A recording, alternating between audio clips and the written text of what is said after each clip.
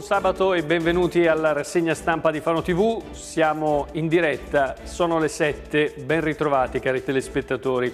E allora affrontiamo insieme questo fine settimana, il primo di questo settembre che comunque, come vedremo tra poco, si presenterà ancora soleggiato e ancora con qualche eh, coda estiva che si può sfruttare per andare, per chi può, anche al mare. Ma andiamo con ordine, vediamo il santo di oggi, subito con la grafica. Eh ci inchiniamo di fronte a questa santa straordinaria, umile, dolcissima Santa Teresa di Calcutta. 6.38 l'alba, il tramonto alle 19.42.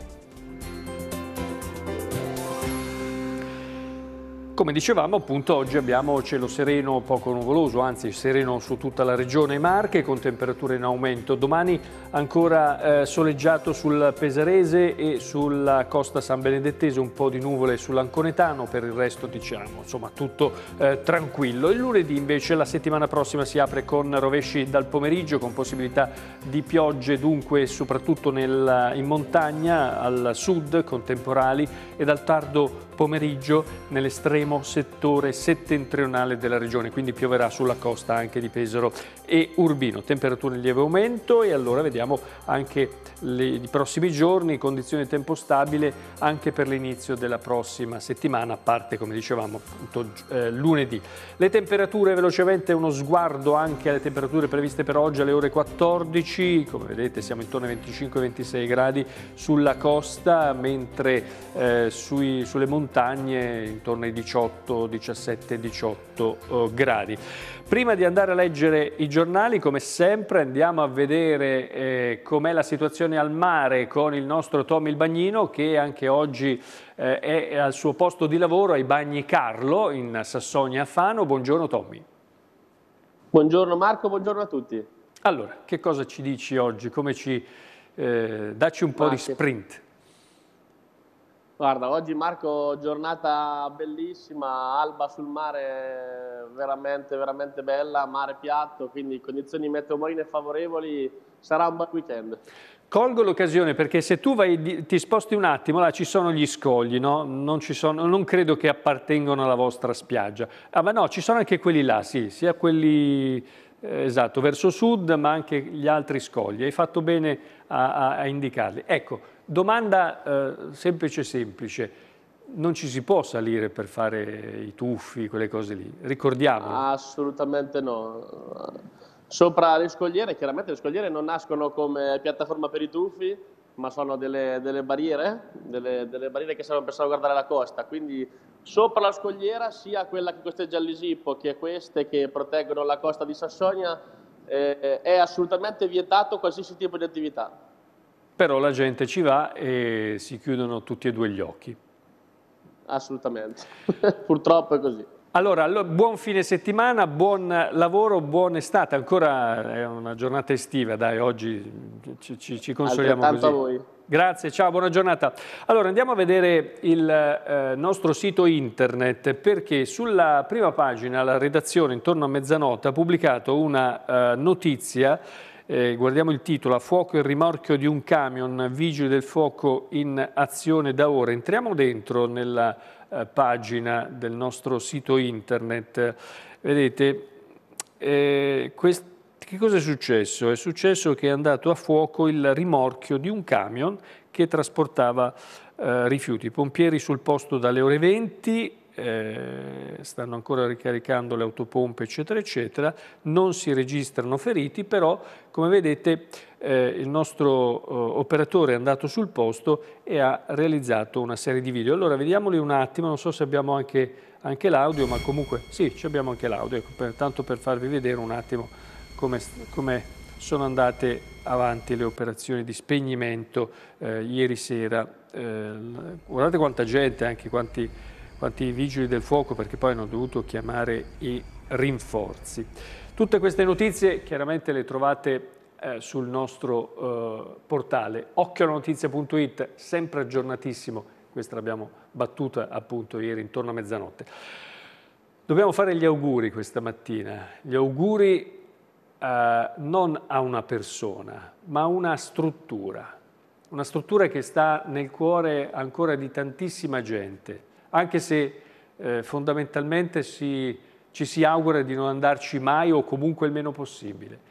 Oggi compie 100 anni l'ospedale di Fano, Santa Croce, e c'è un libro che io ho qua, che mi ha portato una persona, eh, che ha scritto il eh, dottor Marco Belogio, un libro molto, molto bello, si intitola Santa Croce, un ospedale nella storia, non so nemmeno se sia disponibile, se si trovi ancora in circolazione, però è molto, molto dettagliato, con eh, tante foto, tante, tante, notizie importanti, interessanti, tra le quali c'è anche eh, questo, eh, questa cartolina che è un manifesto, anzi un manifesto inaugurale del nuovo ospedale eh, Santa Croce e, e, e, anche un manifesto, una cartolina per la posa della prima pietra.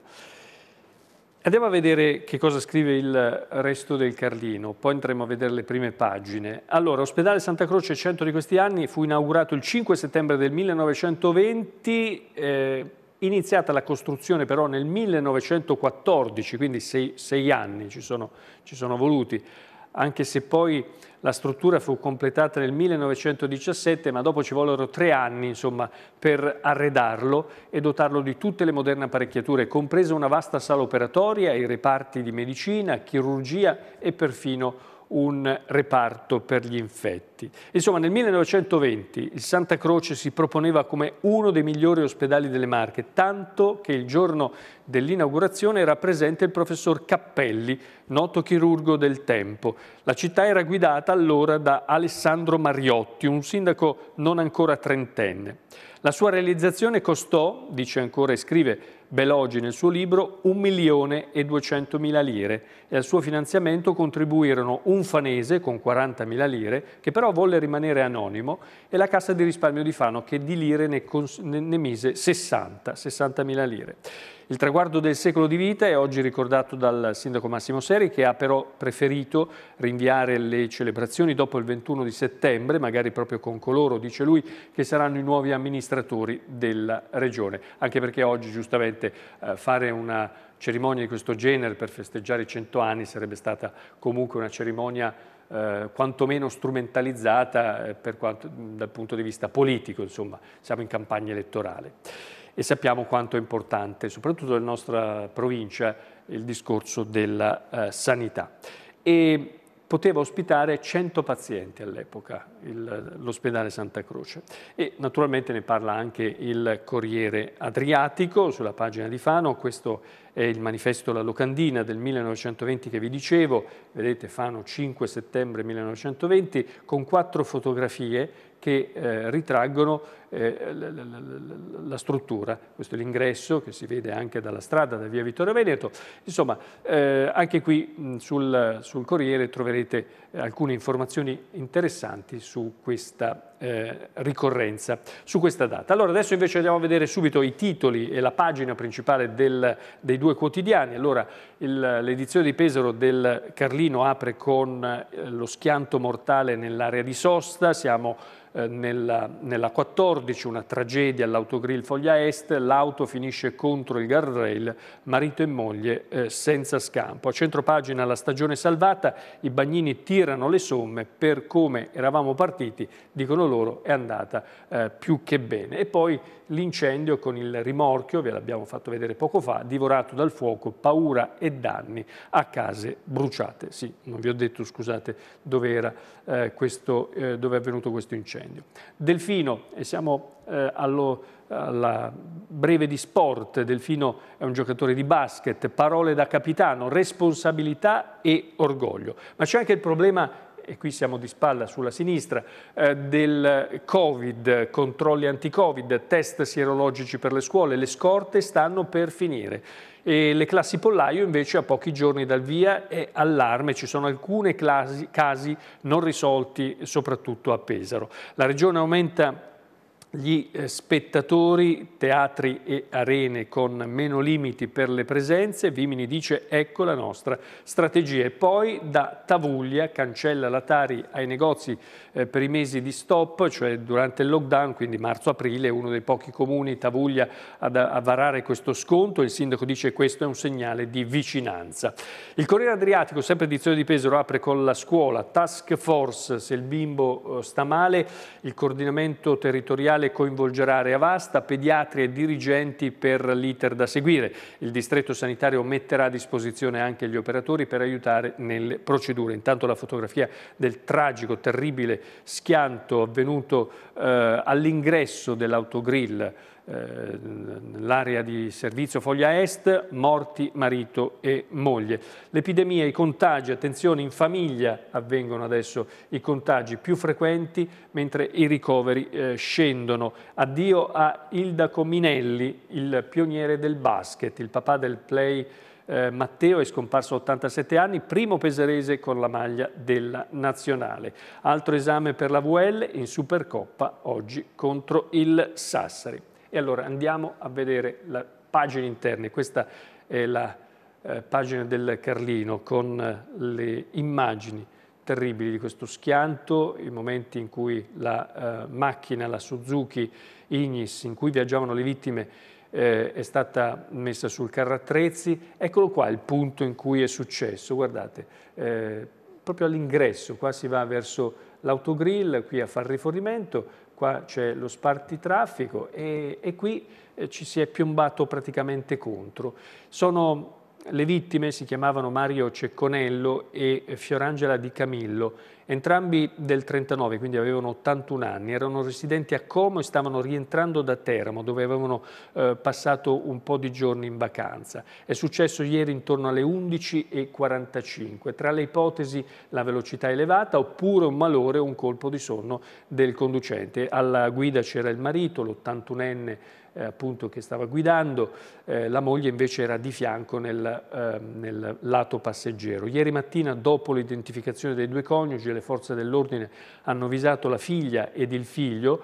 Il figlio è anche un DJ molto noto a Como, eh, i quali sono, sono, subito partiti e si sono messi in viaggio per Pesaro per poter vedere per l'ultima volta i eh, genitori. Questa invece è la notizia dell'incendio eh, che è avvenuto a case bruciate. Paura, ieri sera il mezzo era stato appena parcheggiato dal proprietario che è riuscito a salvare la motrice. Dice lui, ehm, eh, dice lui eh, Fabio eh, Giorgini, ehm, sono in 40 anni che faccio questo lavoro, eh, non mi era mai successo, per fortuna avevamo messo via la motrice, ero appena tornato da un viaggio fatto a Castel eh, San Pietro. La pagina di Urbino e di Fano eh, del Corriere Adriatico. Allora, intanto per quanto riguarda Fano, Piazza Andrea Costa, in, eh, scusate, improvvisazione flop, Tonelli hai, prodotto danni enormi, torna il parcheggio dunque nella zona dietro, uh, dietro il, il, mercato del pesce, stop alla zona traffico limitato, la Lega di Fano attacca l'assessore e dice la prossima volta ascolti le associazioni. A Urbino invece residenza protetta per minori lasciata senza corrente elettrica, la cooperativa Patos eh, ospita giovani con disagi, settimana d'inferno, dicono loro, aiutati solo da Era Imola, i debiti eh, non sono nostri. Mentre eh, sulla pagina di Fano del Resto del Carlino si parla di scuola, scuola si riparte ma tra mille precauzioni, tra i banchi, tutti sui banchi gli alunni delle prime classi e delle quinte, per gli altri anni didattica in presenza integrata con quella a distanza. Ovviamente tra le misure ci sono i gel igienizzanti, e per i casi sospetti invece previsti spazi dove attendere l'arrivo dei genitori. Ma il Carlino ospita anche il parere di eh, Paolo Clini, docente dell'Università Politecnica delle Marche, che dice riaprire la scuola il 14 settembre è una follia. E in tema di scuola a Urbino università ancora fra le prime al mondo, l'Ateneo Urbinate indicato da The World University Ranking 2021 nella fascia 501-600 sulle circa 20.000 selezionate, di cui 49 sono italiane. La stagione estiva eh, è andata bene anche a Pesaro, c'è chi smonta e chi va avanti, i bagnini è stata dura, dicono ma è andata bene, alcuni stabilimenti continueranno fino a metà settembre, altri finché ci saranno i bagnanti. La CNA dice ricavi giù almeno del 20%. Arkansas, parliamo di economia, di territorio, il 60% ad un fondo, eh, il titolare Amedeo eh, Scriat, eh, Scriattoli, 63 anni, o Scriattoli, adesso io non lo conosco personalmente, ma comunque va bene lo stesso, 63 anni, fanese, casa Gimarra, che ha ceduto il 60% della sua azienda Arkansas, mantenendo sia il ruolo di presidente che quello di amministratore delegato e ad acquisire la maggioranza di questa industria, che ha stabilimenti produttivi a Piaggia e a Mondavio, il fondo di investimenti con sede a Padova, Grandiente SGR. Cosa abbia pagato questo fondo? Le quote di maggioranza di questa società che ha chiuso il 2019 con 30 milioni di fatturato, 110 eh, dipendenti, non è stato reso noto. Negli ultimi quattro anni questa azienda ha avuto un incremento di fatturato del 57%, scrive Gennari sul Carlino di questa mattina. Poi il lutto che ha colpito il mondo dello sport pesarese eh, ci lascia Ilda Cominelli, primo al Fierazzurro, pivot eh, sinuoso ed elegante, anticipò i tempi, l'esordio in nazionale a soli 18 anni, fu fermato da una malattia, poi fece il medico, aveva 87 anni, oggi alle 16.30 i funerali a Cristo Re. Stiamo parlando chiaramente di pallacanestro.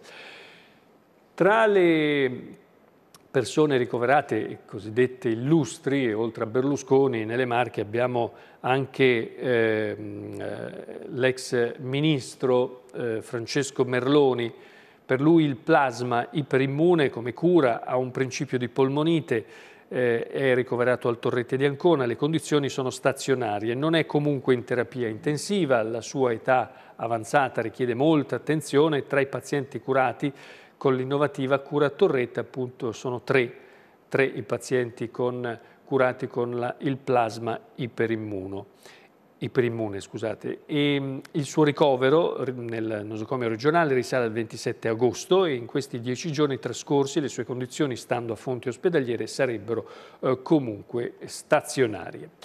I contagi, parliamo di contagi perché adesso dopo la prima ondata di contagi dovuti al rientro dalle vacanze eccetera, adesso il problema dove sta? Sta nelle famiglie, quindi attenzione perché eh, ai luoghi affollati, ai traghetti e ai lidi delle vacanze eh, sono eh, a preoccupare i contatti ravvicinati del quotidiano, quello cioè con i familiari, con i conviventi, perché in questo avvio di settembre i contagi domestici sono la prima causa di diffusione dell'epidemia nelle Marche. Da martedì a ieri 71 nuovi casi di positività emersi in quattro giorni di esami di laboratorio, ben 22 arrivano proprio da cluster domestici, più dei positivi eh, provenienti eh, da viaggi all'estero che sono 20 e dei casi sintomatici che sono 12. Ehm, negli ospedali i pazienti che eh, sono ricoverati scendono da 14 a 13, solo un paziente ricoverato in rianimazione, mentre per quanto riguarda gli screening della scuola, in questo momento quello che viene chiamato il tamponificio eh, proprio anche degli addetti ai lavori, nel senso il tamponificio sta lavorando tantissimo soprattutto per garantire un ritorno a scuola in sicurezza e quindi c'è questo screening che viene fatto a, ai docenti e al personale ATA e tra tutti questi tamponi, queste, tutti questi screening soltanto un paio di persone sono risultate positive appunto al tampone. Eh, ancora dalla rassegna stampa, eh, questa pagina l'abbiamo presa dalla, eh, da, dal Carlino Nazionale perché ha un eh, risvolto ovviamente locale, per, mh, mm, si parla di una radio, una radio che trasmette eh, su internet e che è dedicata all'esercito, si chiama Radio Esercito e da dove trasmette? Trasmette da Pesaro. L'emittente dell'esercito trasmette da Pesaro, online ci sono 25 DJ e speaker militari. Eh, la programmazione prevede notizie sulle forze armate, società, meteo e anche musica.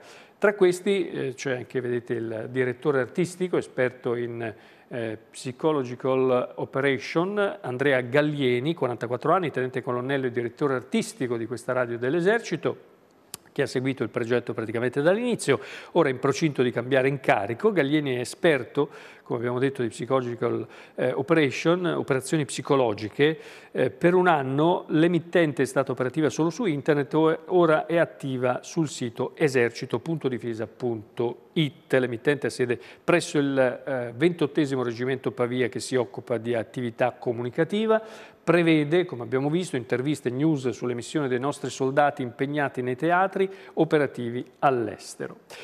Le pagine del Corriere Adriatico da Senigallia, misure anti-Covid, eh, lavori in corso, servono ritocchi per cinque scuole, quattro materne ed una elementare vanno adattate alle direttive, ci sono fondi comunque del Ministero per 230 mila euro. Poi sempre da Senigallia, addio isola pedonale sul lungomare, da questa sera mod modalità bassa stagione, niente proroga per la Movida, la Polizia Locale farà eh, scattare la chiusura in caso di emergenza. Poi la cronaca, uno scooter contro un'auto, un ferito, un, uh, uno schianto avvenuto sul eh, Corinaldese, un ragazzo di 16 anni medicato all'ospedale cittadino. Da fermo 11 milioni per gli eroi del Covid, sono soldi raccolti da Diego Della Valle che ha presentato ieri i risultati della raccolta sempre con voi, avviata lo scorso aprile, aiuti ai familiari del personale sanitario ucciso dal eh, virus. Sulle cose serie noi italiani, dice Della Valle, ci siamo sempre. E poi da Grottamare, la tragedia di San Benedetto, la coppia eh, che aveva intenzione di fotografare probabilmente l'alba, ma il bagno è risultato fatale.